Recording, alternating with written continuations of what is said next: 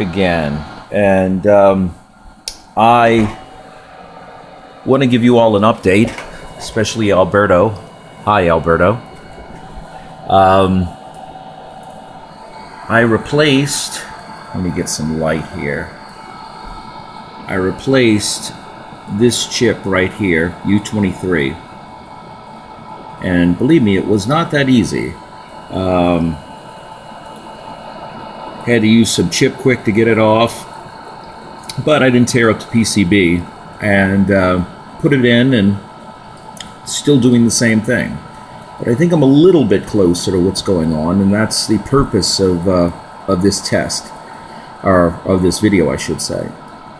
Anyway, for a little background, and I hope that you all can see this. This is U23. Um, this is U27, I believe. This is all out of the service manual.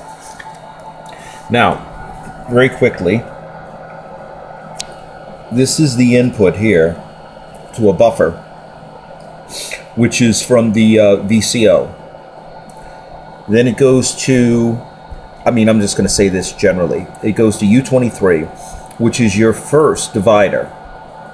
Then it goes through this, because this is all ECL logic. It goes to this ECL converter to TTL converter, changing the logic levels. Then it goes to this TTL divider. Now, this is the curious thing. What I'm going to do is go through this in turn. We're first going to check. Um, wish I had a pointer here.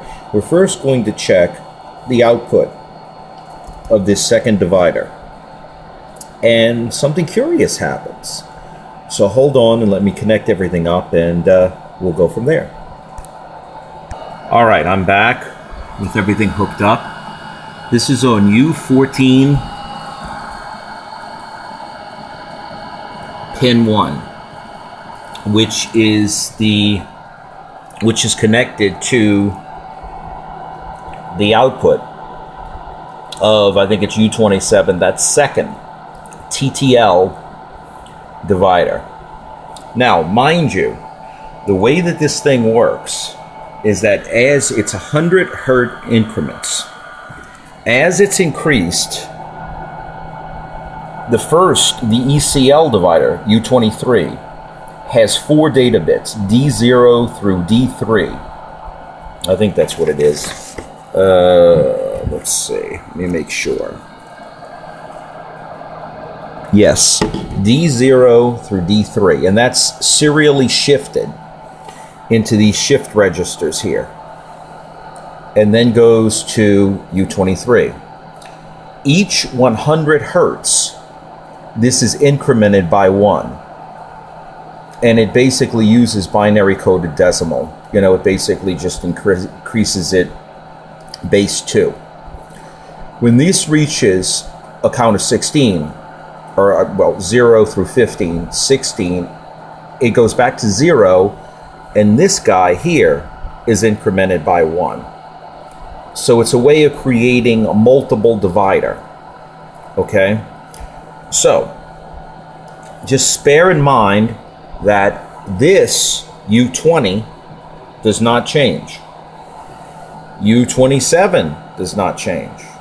The only thing that changes when you're incrementing it by 100 hertz within a certain range, of course, is this guy right here.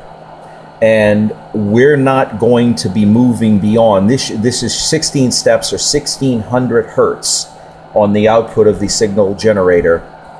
We're not going to be going beyond there. So nothing else should be changing in this area, and it really doesn't. But we're checking the output. This we're checking here on U27. This is where we have the oscilloscope connected. And what I'm going to be doing is, is slowly incrementing this frequency by 100 hertz at a time, which should increment U23 one uh, one base one, a uh, base two, excuse me, uh, change at a time. You know, and it, basically it should it should uh, one of the bits should change at a time. Now, this is the waveform we're getting right now. Now, I'm going to count it out as I increment it.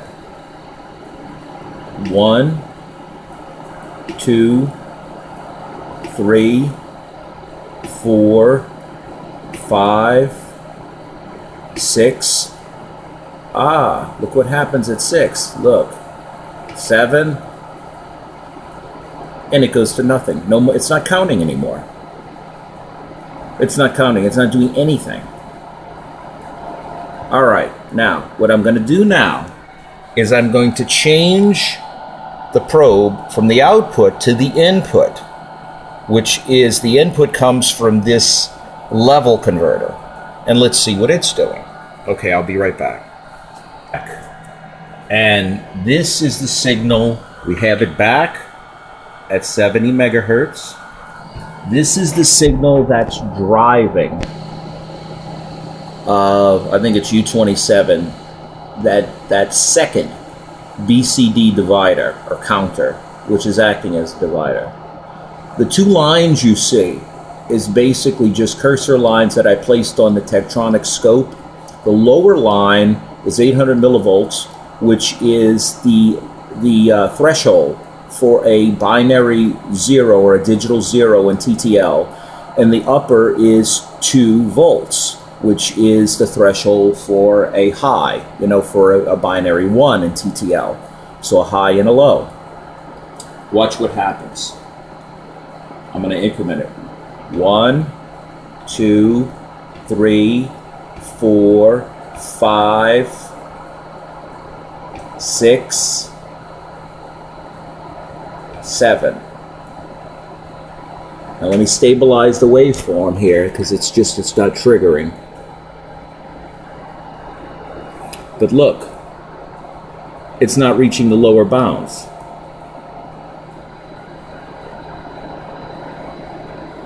And the frequency is at 5.92 megahertz. Now I'll go back down negative 1, negative 2, negative 3, negative 4, negative 5, negative 6, 0, back to 70. Now it's actually triggering on the upside and triggering on the downside. All right, next question. The input to this level converter, which is right here, it's U30 is it driving things properly? Maybe it's the problem. All right, I'm going to reattach the probes and I'll be back. Now, this is the waveform that's going in to this level converter. It's basically, I'm taking it right on that diode, okay, on the um, anode side of the diode. I've only used the cursors to basically form a channel around these waves. Now I'm going to increment this and watch what happens. One, two, three, four, five, six, seven, eight, nine, ten. Notice the wave gets peakier. Obviously, the frequency is increasing. Okay, it's up to 10 megahertz. Um, but the levels stay exactly the same, which is where they should be. The point is, is all I can conclude from this, and I don't know if there's anything else wrong with it, but this really could be a lot of the problem I'm seeing. Um, is that it has to be in this level translation circuit, which basically consists of two resistors, two caps, a diode, and a transistor. I've tested the resistors because I can do that in circuit easily. They're fine. The diode appears to be all right. Um, but you know, maybe not. Who knows? Maybe there's excessive capacitance on it. I don't know. Uh, the caps I really can't test in circuit, and the transistor I can't test in circuit. So anyway, that's my conclusion. I'd love to hear from anyone who can give me an idea of what they think. Thank you very much. Bye bye.